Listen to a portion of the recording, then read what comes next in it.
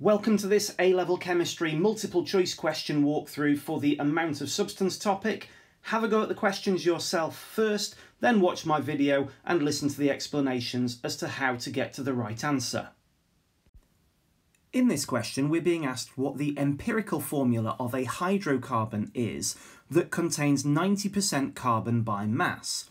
Well, first of all, we need to remind ourselves that hydrocarbons are compounds that only contain hydrogen and carbon atoms. So if it's 90% carbon, it must be 10% hydrogen. Secondly, we need to think that this hydrocarbon is 90% carbon, so that means if we had 100 grams of this hydrocarbon, we would have 90 grams of carbon.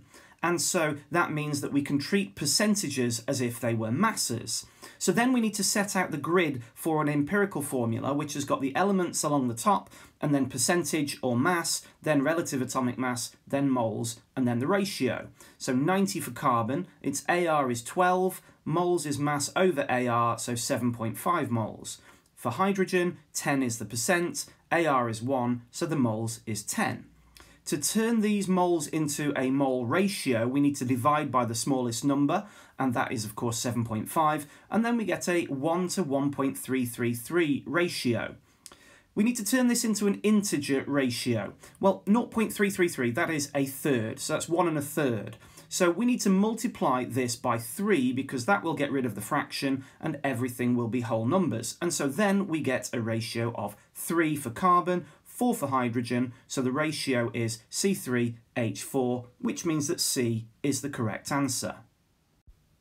Here we're told that a drink driving offence is committed if the blood alcohol level of a driver is over 80 milligrams of ethanol per 100 cm cubed of blood.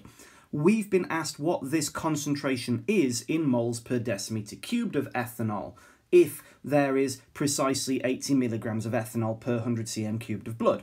So the first thing we need to do is convert 100 cm cubed into dm cubed using the fact that there are 1000 cm cubed in 1 dm cubed. So that means that there would be 800 milligrams in 1000 cm cubed of blood or in 1 dm cubed.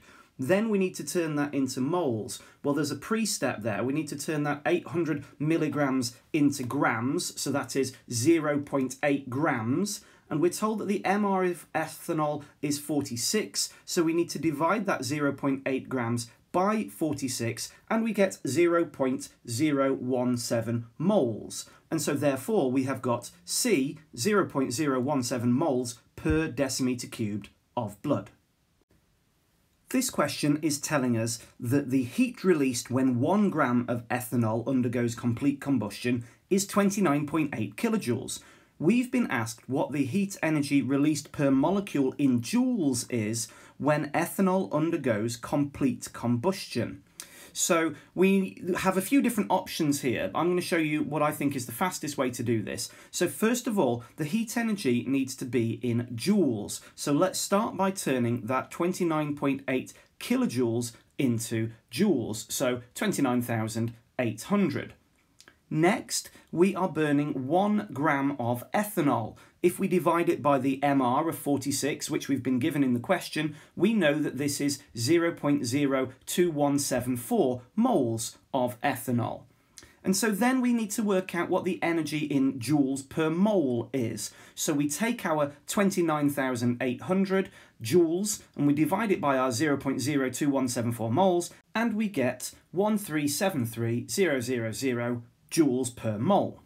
And now a mole is 6.022 times 10 to the 23 molecules of ethanol, and so therefore we know that we would release 1373000 joules per 6.022 times 10 to the 23 molecules. We've been asked what the energy is per molecule, so we need to divide this amount of energy by Avogadro's number.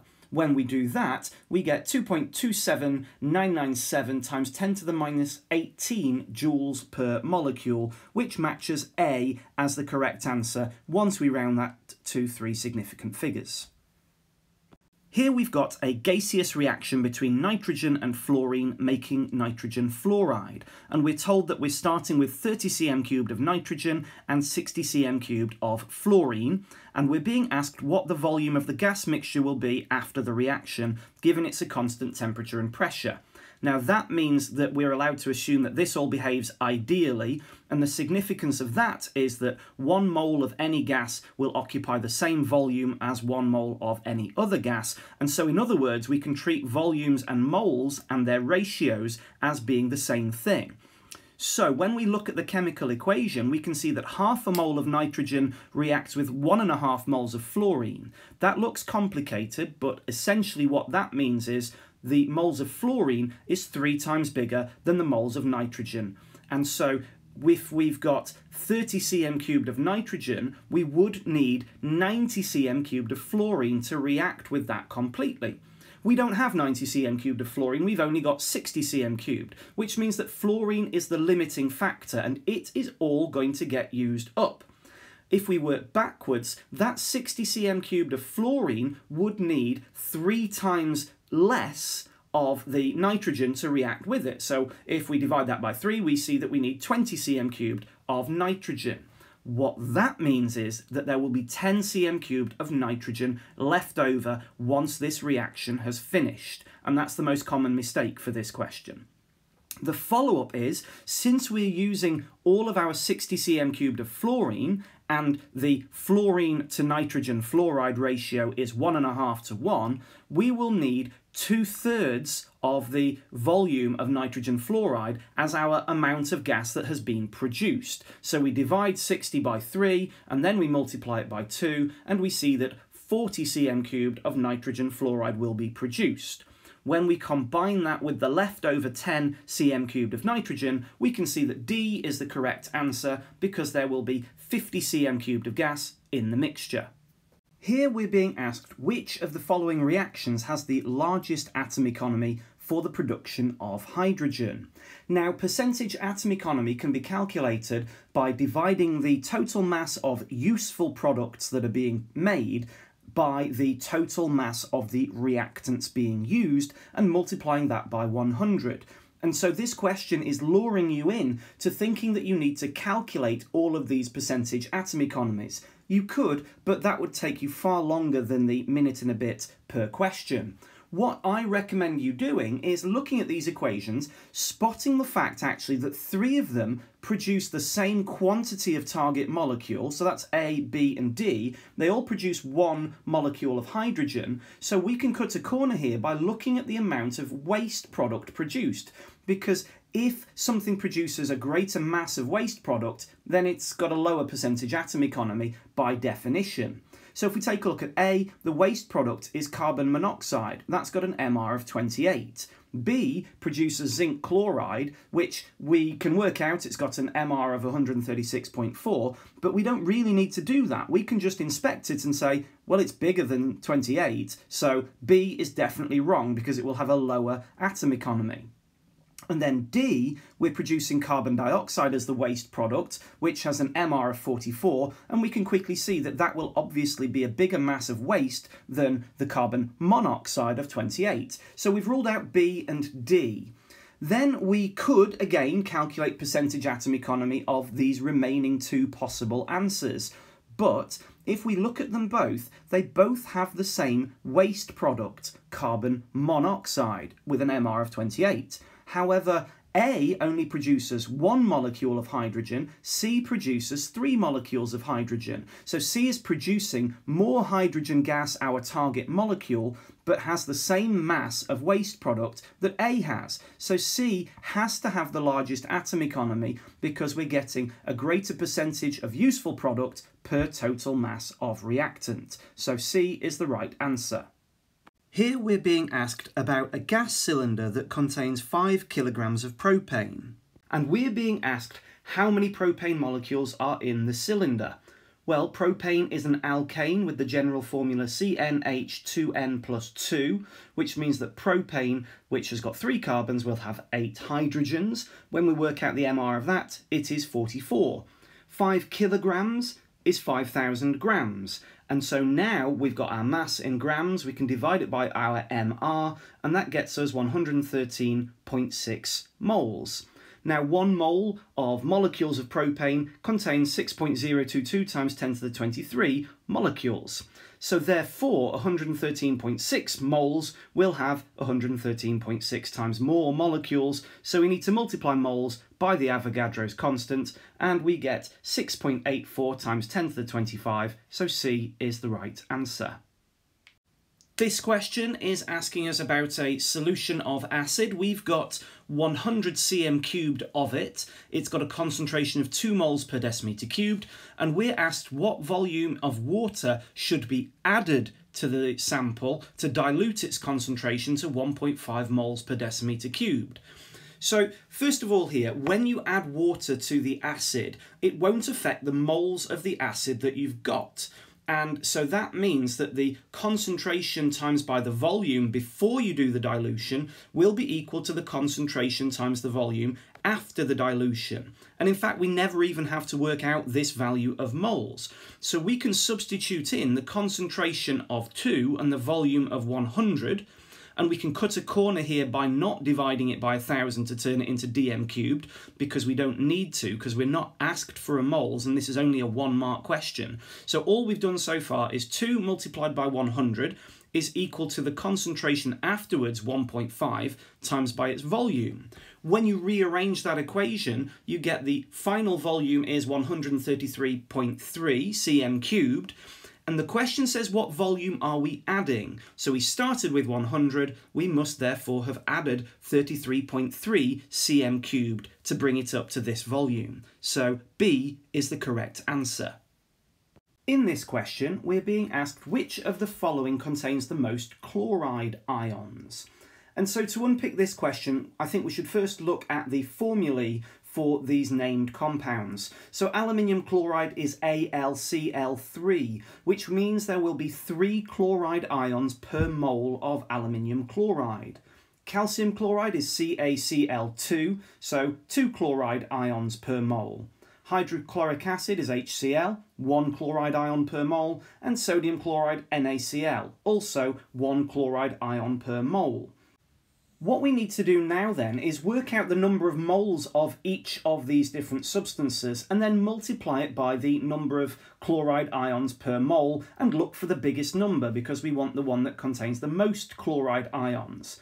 However, we can cut a couple of corners here. First of all, moles is equal to concentration times by volume. This should really be in dm cubed, but we've not been asked to calculate the moles and we want to be quick, so we can leave the volume in cm cubed because it's still going to give us an answer that is proportionate to the correct moles value. The second corner that we can cut is by looking at these standard form values. They are all times 10 to the minus 2, so we might as well not include them in our calculation each time. So what we can do, for instance, for A then, is 15 multiplied by 3.4 multiplied by 3 and that gets us 153 as our value that's not the correct number of chloride ions, or moles even, but it's proportionate to the correct answer. And so for the next one, 30 times 5.5 times by 2 gives us 330. So A is definitely wrong because it's a smaller number. C, 40 times by 2.3 times by 1 is 92, definitely wrong. And D, 45 times by 2.2 times by 1 is 99. Again, this is the wrong answer, so B has to be the correct answer because it's the biggest value. This is a titration method question where they're trying to find out the sulfuric acid concentration in a sample of battery acid. First, they get a 10 cm cubed sample of the acid, put it into a volumetric flask, then make that volume up to 250 cm cubed, and then after they've inverted to mix it, they take a 25 cm cubed sample out, put it into a conical flask, add some methyl orange indicator to it. That's necessary because the sulfuric acid is a strong acid, and then they do a titration with sodium hydroxide. It then says that the titration was carried out five times, but concordant results were not obtained. So that means that the results were a bit all over the place and there was no consistency. And then it says which suggestion would improve the accuracy of the titration. So A, rinse the conical flask with acid. No, that's definitely not. That's going to increase the moles of acid in the conical flask. Your titer volume would go up. Rinse it with alkali. Well, that would have the opposite effect. There would be some alkali and acid in the conical flask at the start, so the titer volume would go down.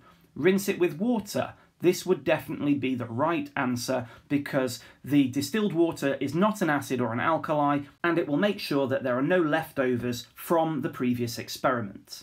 And D is a crazy answer because there will definitely be leftovers between one experiment and the next and you'll never know exactly how much alkali is left behind. This is a question about fermentation. We've been given the equation where glucose turns into ethanol and carbon dioxide. We're told that in an experiment, 268 grams of ethanol is produced, so this is the actual yield, 268 grams, and it's been made from 1.44 kg of glucose and we've been asked what the percentage yield is. So the first thing that we need to do is work out the moles of glucose that are being used. So mass 1.44 kg needs to be turned into grams, then we divide it by the MR, which we've been given, and we get 8 moles of glucose. The mole ratio from the equation is 1 glucose makes 2 ethanol. So 8 moles of glucose will make 16 moles of ethanol. So what mass will this have? Well, mass equals mR times moles, so 16 times by 46 that we've been given is 736 grams. Percentage yield is actual yield divided by theoretical yield multiplied by 100, so 268 divided by 736 multiplied by 100 gives us 36.4%, so B is the correct answer. Okay, I hope this has been useful. That's all for now. I'll see you soon.